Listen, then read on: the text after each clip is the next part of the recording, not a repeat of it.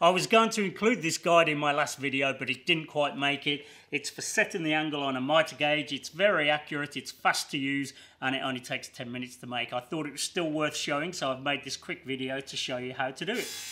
You need a piece of 3 quarter inch plywood. I'm using form ply, but any flat plywood will be fine. It needs to be cross-cut square and that needs to be precise. The idea of the guide is to be able to set the mitre gauge quickly but also accurately and reliably. I'm using my crosscut sled for that because I know that will be square.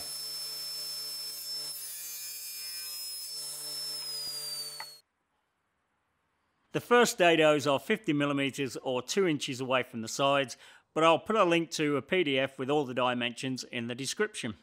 I put a clamp on the far end of the fence so there's no chance of it moving when making the cut. The router bit is set 6 millimeters or quarter of an inch above the tabletop.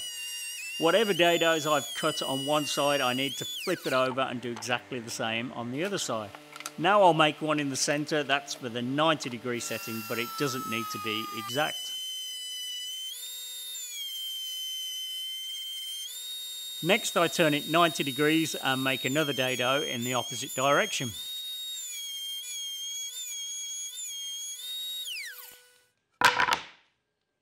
It'd be a good idea to make a test first before you go cutting all those dados, but we want a nice fit. We don't want any sideways wobble. We don't want it to be sloppy, and that's perfect.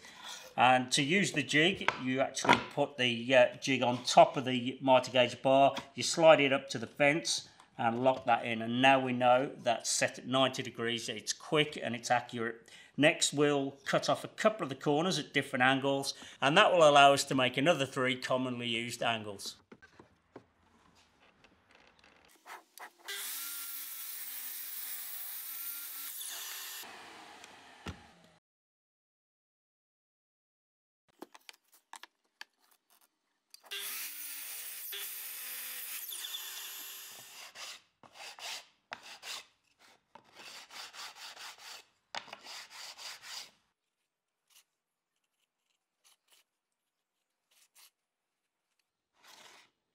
To use the guide, you just choose whichever dado you need. I'll go for 60 degrees. So we'll put that on the bar, slide it up to the fence and lock it in and that's set. It's that easy. If you need to set the angle the opposite way, then you flip the guide over and do the same thing that way.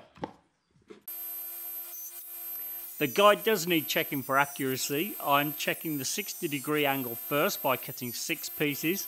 I cut all the angles on one side, then flip them over and cut the angle on the opposite side. Make the pieces a bit longer than I have here if you're concerned about getting too close to the blade.